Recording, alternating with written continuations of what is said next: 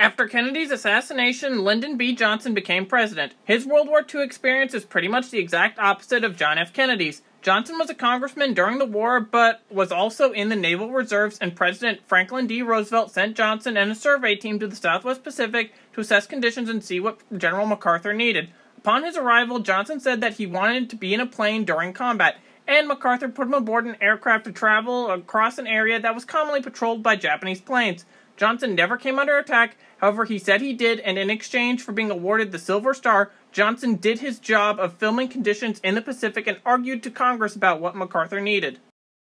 Regarding the chaotic political situation in Iraq, President Johnson aided the Iraqi government and U.S. Iraqi relations became very good under Iraqi President Abdul Salam Arif and later under his brother Abdul Rahman Arif. As American and Iraqi relations became closer, the Baathists staged a coup in 1968 and overthrew Rahman Arif's Nasserist Iraqi Republic, and they established a Baathist Iraqi state under the reign of President Ahmed Hassan al-Bakr.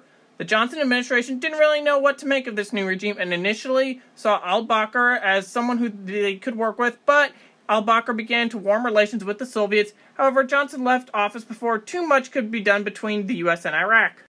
Okay, on to the big one Vietnam. Before the Gulf of Tonkin incident, the Johnson administration's views on Vietnam were pretty similar to Kennedy's, where the U.S. reaffirmed support for South Vietnam. However, Johnson noted how ineffective the South Vietnamese had been against the Viet Cong, and the Gulf of Tonkin incident came in August of 1964, where U.S. ships were attacked by NVA torpedo boats.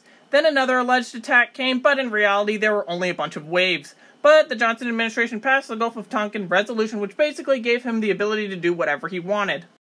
Squadron commander and future Medal of Honor recipient, as well as Reform Party vice presidential candidate James Stockdale, was one of the U.S. pilots flying overhead during the second alleged attack. Stockdale said his superiors ordered him to keep quiet about this. After he was captured by the North Vietnamese, this knowledge became a heavy burden on him, he later said that he was concerned that his captors would eventually force him to reveal what he knew about the second incident as he was constantly tortured during his imprisonment, where he was a part of the Alcatraz gang in Vietnam. A major aspect to Johnson's handling of the Vietnam War was Operation Rolling Thunder, where the U.S. would bomb North Vietnam from 1965 to 1968. It would be largely ineffective due to Johnson personally wanting to approve of every single target, which is where the idea of the U.S. military fighting with one hand tied around their back in Vietnam comes from.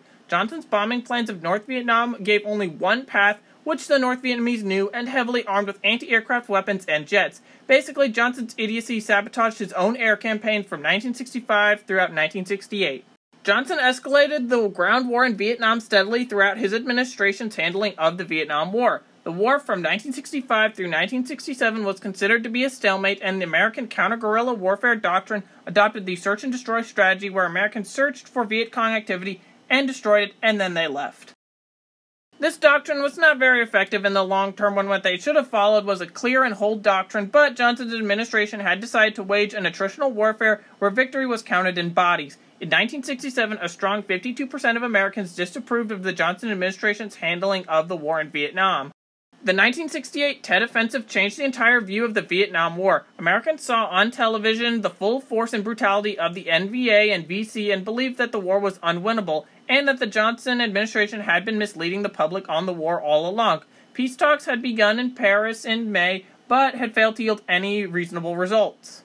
The major two obstacles in negotiating were the unwillingness of the United States to allow the Viet Cong to partake in South Vietnamese's government because why would you want an insurgent group to be allowed to participate in government? And then there was, of course, the unwillingness of North Vietnam to recognize the legitimacy of South Vietnam even being a country. The war would therefore continue, and Johnson dropped out of the Democrat primaries as he was deeply unpopular. Outside of the Vietnam War, the Johnson administration launched Operation Power Pack in 1965 during the Dominican Civil War to support the Loyalist faction of the Dominican Republic's government, and the Inter American Peace Force was made up of seven states in the Western Hemisphere and against the Castro supported constitutionalist factions. Power Pack was a success and only lasted a little more than four months, where a ceasefire was declared and new elections took place. Turning to Africa, Johnson's administration continued to engage in the Congo crisis against the Simba and Kwilu rebels. American Special Forces launched Operation Dragon Rouge with Belgian and mercenaries hired by the Democratic Republic of the Congo to free hostages held by Simba rebels. Most of the 250 hostages would be rescued and 18 would be killed, with 40 severely wounded. 1,600 foreign nationals and 150 Congolese civilians were successfully evacuated as a result.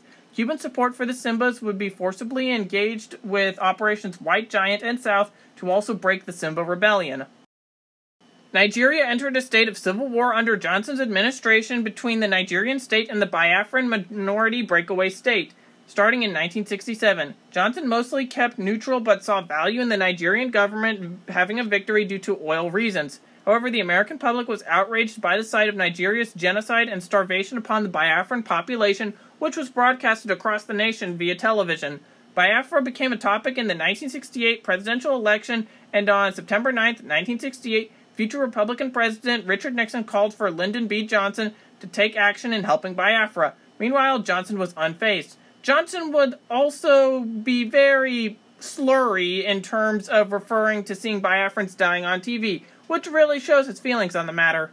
With the ongoing and increasing unpopular war in Vietnam, and with the Biafran crisis constantly being shown to the American public, in addition to Johnson only using slurs when referring to Biafrans, Richard Nixon was elected in 1968. His foreign policy and its impacts will be the topic of the next video in this series. What did you think of Johnson's foreign policy? Pretty much like Kennedy, Johnson relatively served only one term in office, but his foreign policy had lots of impacts and a lot went on. Like every president, Johnson made his decisions without hindsight and most of the time with incomplete information.